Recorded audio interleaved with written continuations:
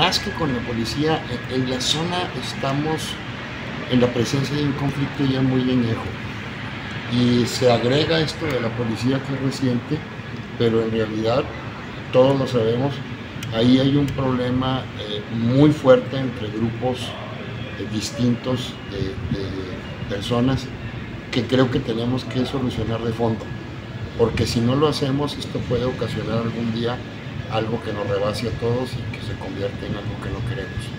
Entonces yo creo que nos debemos abocar ya a dialogar con los grupos en pugna ahí, que son de temas del agua, son de temas diversos, que tenemos que enfrentar como gobierno.